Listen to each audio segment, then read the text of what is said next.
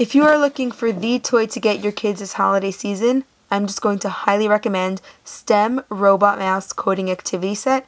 There are so many things that you can do with this game.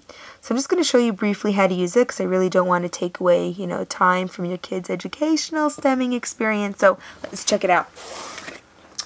The first thing I want to show you is that in addition to playing and all the fun, this set does come with activity cards. The activity cards are most definitely not a must, but they enhance the game, you know, shows you some challenges, just look at a few of them, and just ways that the kids can actually use STEM to, you know, just learn some coding. Goes from cards 1 all the way to card 20, and this is just a great addition. So, let's get to the rest of the game. Putting the board together is really easy. Is you know, it they do come with a lot of nice plastic pieces and they just kind of slip in together. They are so easy, toddlers, you know, even toddlers could do it. So that's really, really a nice feature. Something that slightly disappointed me, just going to show you quickly, is you could see they have little lines here. I do wish that this, you know, the borders, as you can see, they have nice purple borders. They would fit in. The borders do fit in between each tile nicely, and it does create blocks for the mouse. And more stemming steps, yay, that you have to add. But that's just something that kind of, uh, just something I would have done, but otherwise this is, the rest of the game is just totally cool and you'll see why. So, like I showed you before, they have a ton of borders and there's a ton of pieces, so you could really make a huge, huge set for the mouse to code along. So you add some borders, adds nice colors.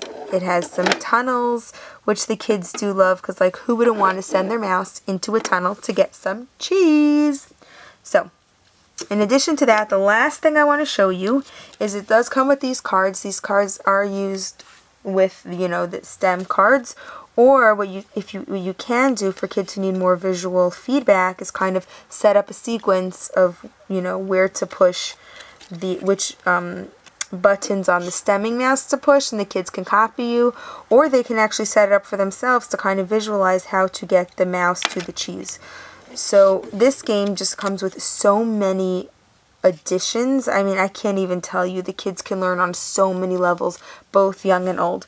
So let me just show you. It's really simple how to use. Before you use it, always make sure to clear the sequence. You want to clear the sequence, set it up, press record. Obviously, this is quite easy. That's, I'm just going to do one direction now and go. Oh, there we go. The eyes lit up a little bit. It got the cheese. the cheese is so cute. And everybody was happy.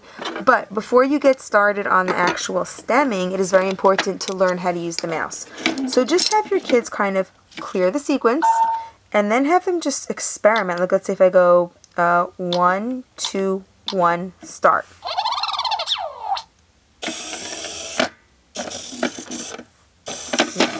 Sorry, I fell off. I did not have enough playing ground there.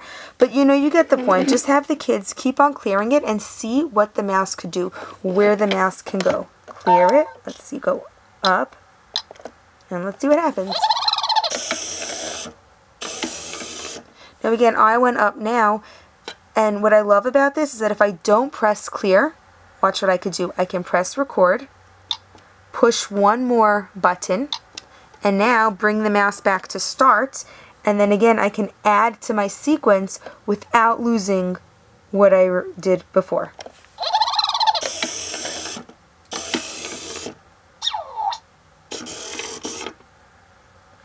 You see that? The kids, you know, from a kid's perspective, when you're experimenting with something new, you just do one thing at a time and it goes by these squares here. So you do one square, the next square, the next square, and the kids can really have a grasp and get immediate gratification for what they're doing.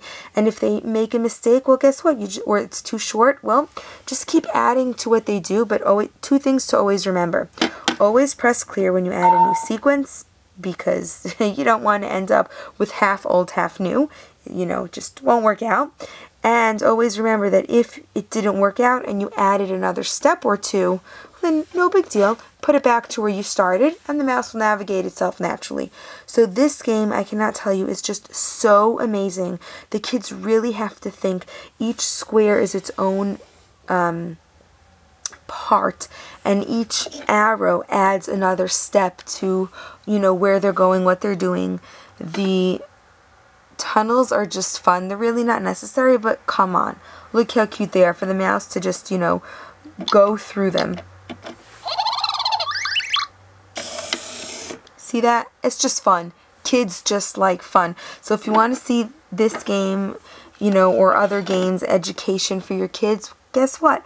Like my channel, subscribe, let me know what you think because I'm all here for kids education. I actually quit my job, started a play-based program. If you want to know more about that, check out my Patreon, you know, page below. And I'm all here for my kids, for your kids, for the kids in my program. Let me know what you think. Happy playing.